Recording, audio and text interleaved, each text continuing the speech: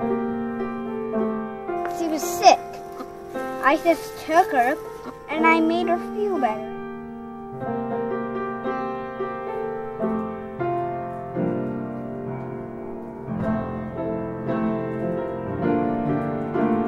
Mom, we should give her a blanket.